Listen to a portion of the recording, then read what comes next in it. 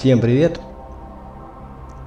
Как вы догадались, это миссия на сервере ДКМ Волчья Яма, насыщенная всякими разными событиями и неожиданностями. Хочу немножко просто рассказать вот коротко об обстановке и о правилах поведения в зоне боевых действий. То есть я наблюдал, как парни просто на прополую ломятся через застройку на ближайшую метку. Я сейчас кое-что доработал. Здесь появляются неожиданности. То есть, допустим, у нас есть основные, вот, допустим, блокпосты противника, опорные пункты.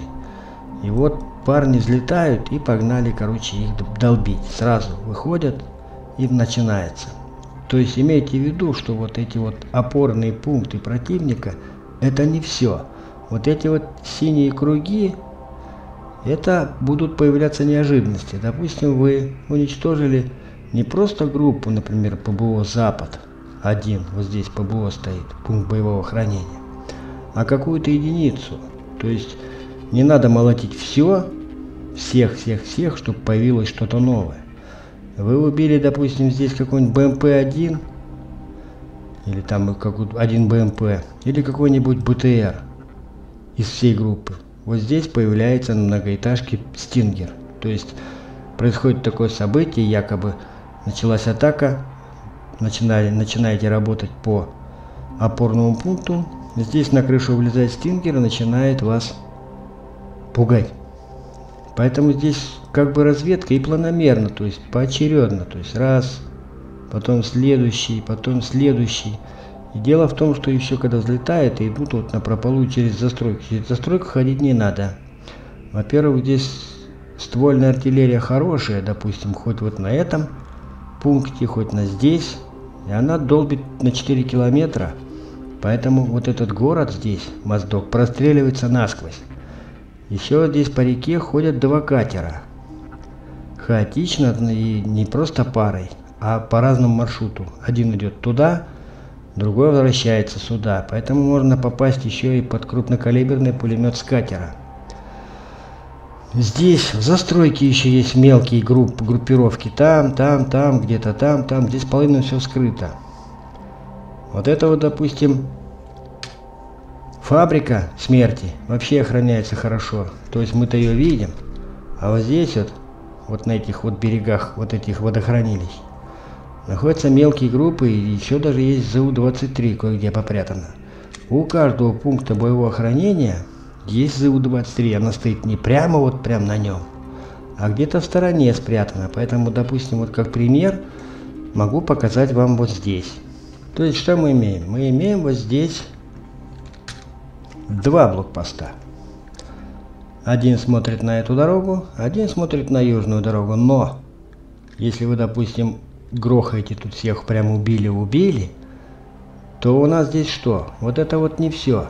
Вот здесь в стороне, вот там, находится ЗУ-23 с машиной заряжания, поэтому очень аккуратно. И это находится на каждом опорном пункте. Что здесь, что здесь, что здесь. Еще здесь что? Есть пехота на опорных пунктах. И у каждого пехотинца, там в группе пехоты, есть обязательно ПЗРК. Ну, допустим, вот посмотрим вот ПБО «Восток». То есть здесь у нас стоит блокпост. Сейчас мы его найдем вот. Допустим, вот здесь блокпост. И опять же, здесь ходит пехота, но она ходит не прямо вот здесь, а где-то вон там, по большому, вокруг вот этого поля.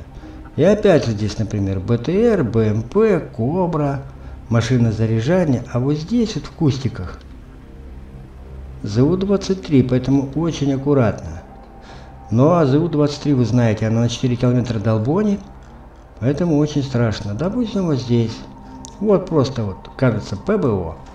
Пойдемте посмотрим, что у нас тут имеется. У нас тут ходит, опять же, такой комплект бронетехники дальнобойной артиллерии. Все вот это тут у нас есть. И ЗУ-23 спрятан. А спрятан он где? А спрятан он вот здесь. Поэтому просто так вы не подъедете. Вы не думайте, что вы взяли в прицел вот этот пункт и начали его уделывать. Вон там в стороночке стоит ЗУ-23. Ну и пехота здесь ходит. Она ходит опять же вот здесь в перелесочках, то вон там, то вон туда пошли, то вон туда пошли по большому периметру. И у одного из них обязательно есть ПЗРК. Поэтому очень аккуратно, близко не подходим, разведали все. И, допустим, вот, например, вы летаете, наткнулись на какое-то, вот здесь, допустим, ЗУ-23 есть, вот на берегах озера. Вы увидели здесь ЗУ-23, поставьте метку. Метка ставится просто. Вот кругляшок, нажали, потом вот здесь еще нажали, и можете написать, например, ЗУ-23. Давайте ЗУ. Конечно, когда летаете, это тяжело сделать, но на всякий случай – вот так вот, ЗУ-23 для других. И все оставили. Ну, хотите, если в этом убедиться, то она, ЗУ-23 тут есть. Сейчас мы это дело посмотрим. Вот так свернули. И давайте посмотрим, он где-то тут у нас сидит, на берегу его прятал. На берегу где-то здесь у нас ЗУ-23 был. Вот он. ЗУ-23, здесь даже вот здесь есть, вот кажется, да? На карте здесь ничего нету. Карта пустая. Но ЗУ-23 есть. Как только ЗУ-23 убили, можете вот этим красным крестиком эту меточку закрыть. Все. Еще. Мало того, что я вот нарисовал вот эти вот темные круги с появлением ПЗРК, во время появления ПЗРК будет звук, сообщение и будет появляться метка на карте. Ее видно особенно вот так вот, на спутниковом виде. То есть, если вы метку, например, поставите, вот допустим вот сюда, ее видно, видите, она красная, сразу видно метку. Как отработали меточку, можете ее закрыть. Я пока не делал, что они автоматически будут убираться. Так, ладно. Что касается наших грачей. Грачи у нас из датчика вылетают. И смотрите, здесь, пока мы летаем на вертолетах, вот тут все это дело крутимся, вертимся, у нас вроде все спокойно, максимум, что у нас тут ЗРК, может быть Авенджер где-то выскочить. Ну, а так в основном эти ПЗРК. То есть трубы и ствольная артиллерия ПВО.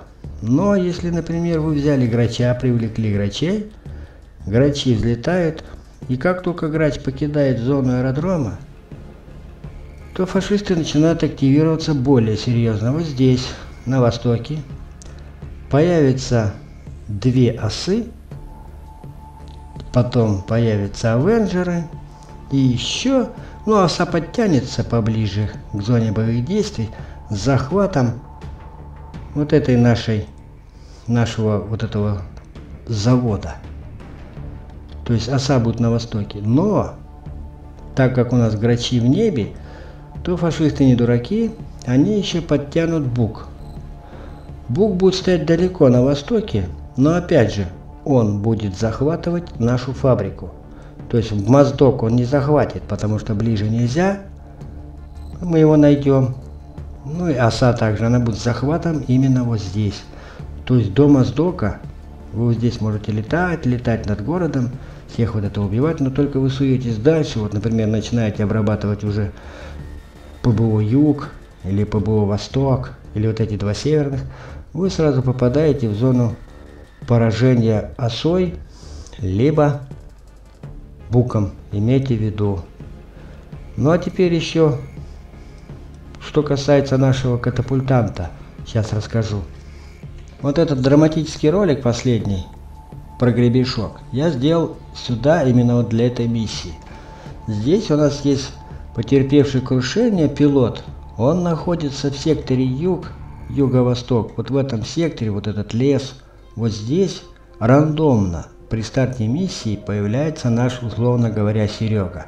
Его надо вытащить. Серегу подобрать может только Ми-8, больше никто. Там у нас восьмерки стоят, поэтому берете Ми-8, Ми-8 и идете искать. Но, во-первых, Серега блуждающий, он появится в одном из трех районов. Я пока сделал три условных таких появления, то есть получается там по флагу. У нас три Сереги, но появится при каждом старте миссии только один. У Сереги будет работать аварийный маяк. Аварийный маяк на Серегу работает на частоте 130-550 МГц амплитудной модуляции, то есть на АМ. Но это ладно. Без зачистки зоны эвакуации у Сереги Восьмерки соваться туда не стоит. Очень серьезные силы Серегу тоже находят. И начинается преследование.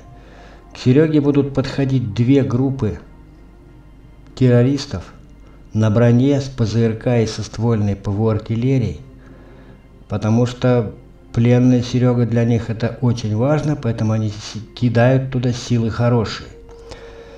И с момента старта миссии обнаружения Сереги к нему подтягиваются две группы, две колонны мощных в течение 40-50 минут, ну грубо говоря, часа.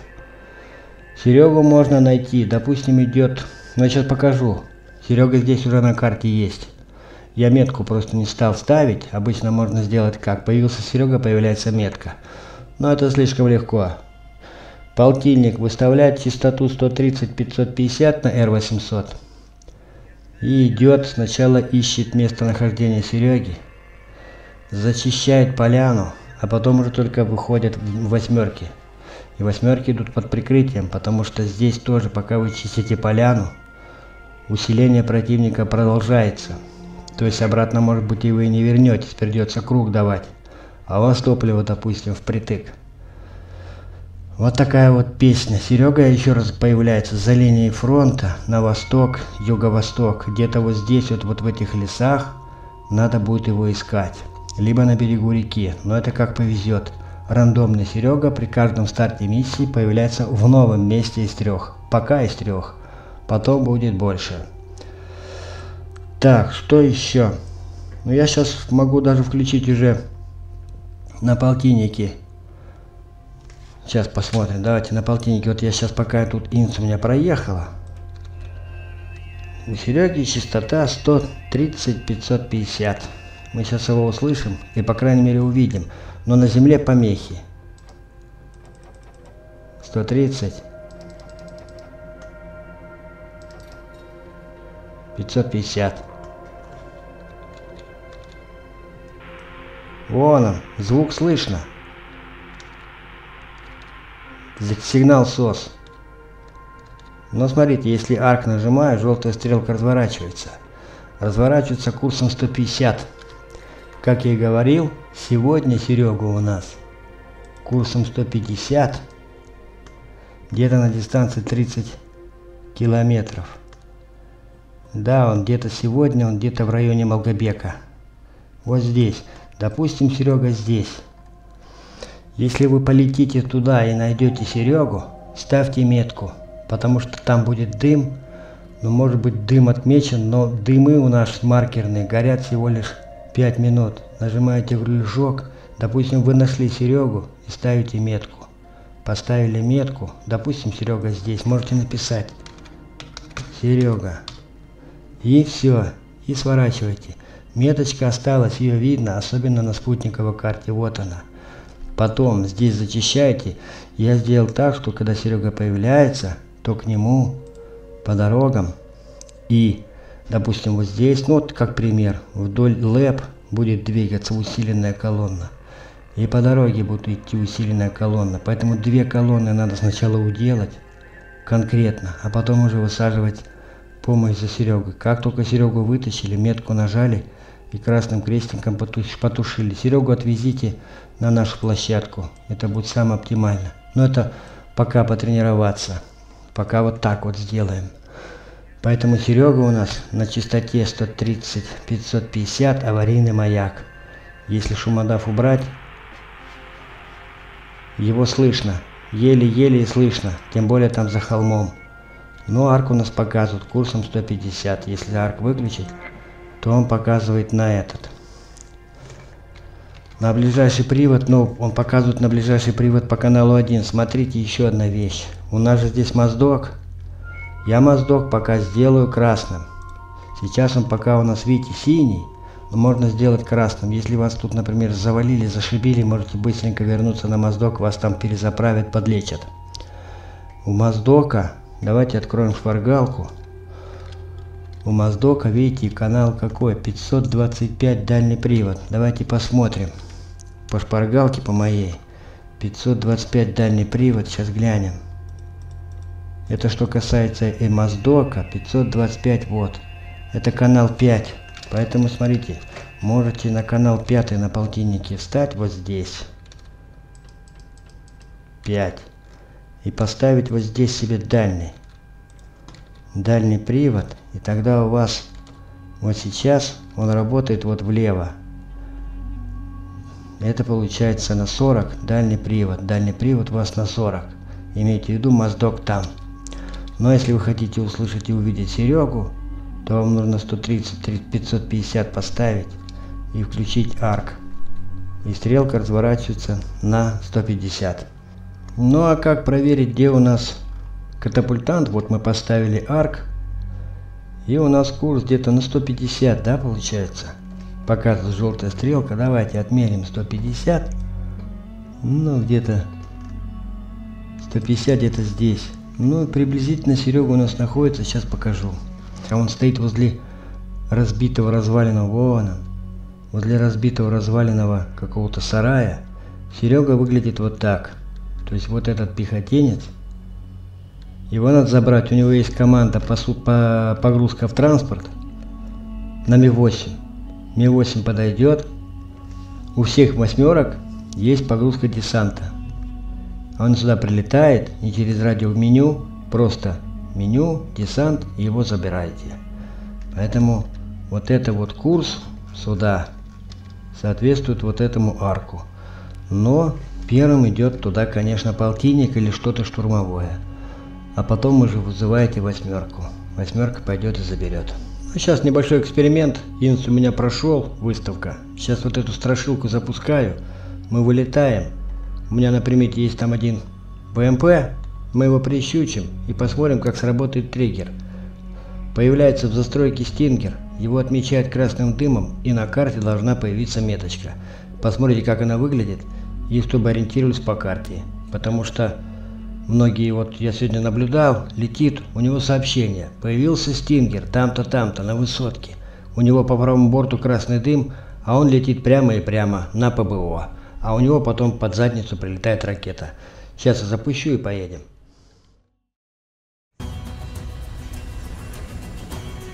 Летим. Так, у нас впереди есть ПБО. Мы сейчас его найдем через свой шквал. Он находится вот здесь, недалеко от окраин города, на дороге.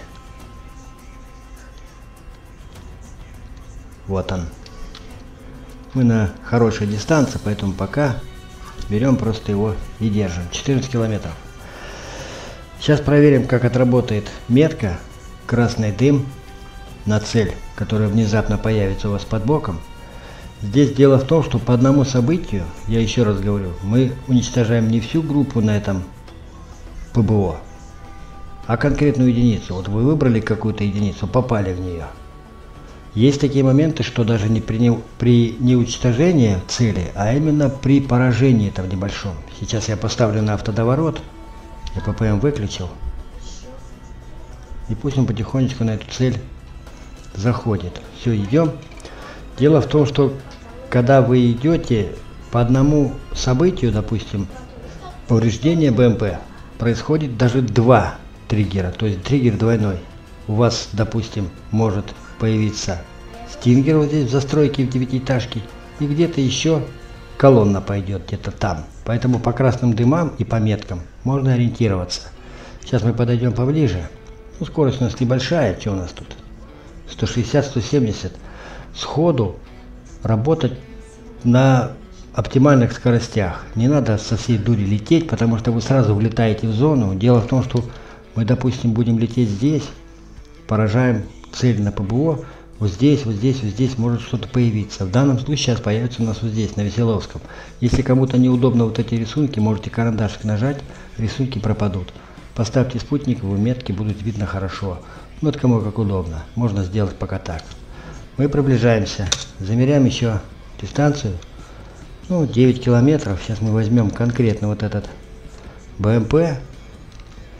И на ручном режиме с 8,5 километров закинем туда. Идем, идем. Можно потихонечку вертикальную прибрать.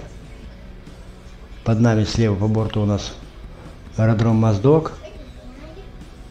Восемь с половиной можно кинуть. Давайте попробуем. Сейчас когда произойдет попадание, поражение цели, будет два события. Во время этого события не надо переться дальше, а разворачивайтесь и уходите. Вам надо осмотреться, осмотреть карту и посмотреть, где что произошло. Сейчас будут попадания, вот, видите, два события. Давайте я нажму паузу, и мы кое-что посмотрим. Итак, во-первых, у нас движение колонны бронетехники пошло с юга. Если мы посмотрим, ну это пока дым, это, если посмотреть туда вправо, то там впереди у нас справа-справа в горах будет дым красный. И сейчас у нас еще активировался вон он. Вон там ПЗРК, вон красный дым пошел. То есть там ПЗРК Стингер. Теперь посмотрим на карту. Сделаем ее спутниковой, и мы увидим метку. Видите, метка появилась. То есть получается у вас что? Метка вот, и метка вот. Если нажать вот на этот символ, кругляшок с текстом, у вас метки две. Вот здесь ПЗРК, вот здесь пошла колонна. Колонна будет идти по дороге без остановки на усиление, то есть это подкрепление на мятежников в городе. Если эта колонна дойдет до определенного момента, то здесь высадится десант. Три группы, штыков по 15, и начнутся разбегаться по всему городу. Вот такая вот ситуация. Мы тем временем выключаем вот это все и уходим, потому что у нас стингер впереди. Если мы будем работать по южным ПБО, стингеры будут появляться в городе на девятиэтажках, поэтому уходим, уходим, осматриваемся и уже выбираем себе новые цели и новые заходы, пока уходим в обратную сторону. Прямо на обратный курс, потому что у нас еще под боком тут речка, а там катера боевые. Вот таким образом метки будут отрабатывать. И смотрите еще один момент. Сейчас я выравниваюсь и ухожу на обратный. Потому что соваться туда не надо. Если вы разогнались 200-220, то вы влетаете как раз там буквально за несколько секунд вы влетите в, в город, а там попадаете сразу под перекрестный огонь зенитной артиллерии противника. Поэтому аккуратно, аккуратно. Еще раз давайте на карту посмотрим, пока вот мы летим в обратную сторону, потихонечку, без набора, вот так потихо, летим, летим. Вот видите, у нас красный дым. Вон он сзади. И вон там. Если полететь на юг, то вы на красный дым увидите. Просто отсюда его не видать. Вон он, сейчас покажу. Вон там, там. Сейчас, сейчас вот так сдвину картинку. Вон он красный дым, вон он, вон он, вон он. Мы можем поближе сейчас сделать и увидеть его. Вот оттуда идет колонна. Поэтому вот так вот, потихонечку, не спеша, разворачивайтесь, переводите дух и начинаете работать дальше. То есть у вас метки есть. Нажимаете вот этот кругляшок с текстом, и у вас две метки. Нажали и посмотрели. Ориентируйтесь на них. Если вы, например, отработаете сейчас вот этого стингера, Можете вот этим красным крестиком метку закрыть, она больше не появится. Но вот таким образом мы можем это дело все и контролировать. Поэтому сразу не лезьте. Оптимальная скорость атаки сходу, еще раз повторяю, на этом вертолете 160-170, больше не надо. Иначе вы, пока будете сопровождать свою ракету, вы улетите в самое пекло. Ну а здесь еще, кроме того, что у нас тут отмечено на карте, вот карандашик нажали, еще кое-что не отмечено, поэтому аккуратно и очень аккуратно. Ну вот такой короткий экскурс. Ну а еще раз говорю, Серега у нас на карте сидит сейчас. Если мы опять же набираем частоту 130-550, кстати, откуда идет колонна? Серега где-то там. 130, но эта колонна идет в город. На Серегу идут другие группы. Вот. Вот он сигнал. Нажимаем вот здесь арк. Стрелка разворачивается на 165 от нас. То есть Серега по линейке на 165 берете, меряете курс на 165 Вон, да, сегодня он в районе Алгобека. Ну, вот так вот. Все. Ну, думаю, теперь пока все. Остальное разберетесь сами, а то я все вам расскажу. Будет неинтересно. Всем пока.